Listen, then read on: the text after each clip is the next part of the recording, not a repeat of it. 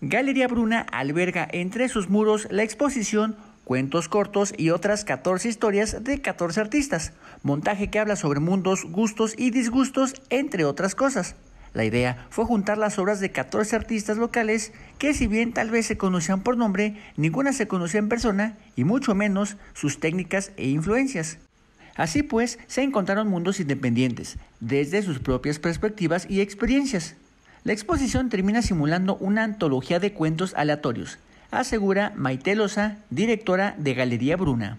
Tenemos a partir de imágenes que son en escultura, tenemos pintura, tenemos gráfica, tenemos dibujo y este, tenemos técnicas mixtas.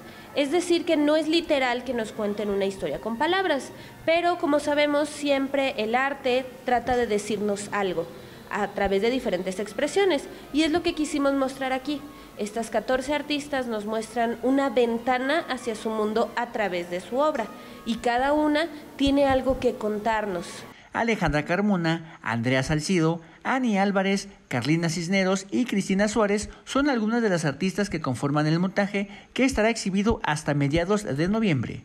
Por ejemplo, tenemos a Verónica Rodríguez, que ella habla sobre la arquitectura de las ciudades, cómo las ciudades siguen vivas y cómo se verían a pesar de nosotros. Es como esto de que una casa que no está habitada se acaba, porque sigue activa, se sigue desgastando, se sigue moviendo. Entonces ella es lo que nos está mostrando en sus diferentes obras con esta representación de las casas latinoamericanas que podemos ver el bocho en la entrada, que podemos ver esa vereda un poco destruida, podemos ver estos colores menta. Es como esas pequeñas ventanas a momentos en específico a través de la arquitectura.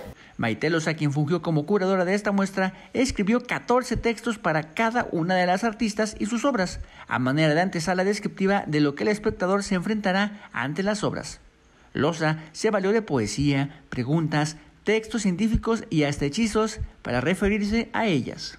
Las imágenes son de Rubén Freire, para UDGTV, Canal 44, Héctor Navarro.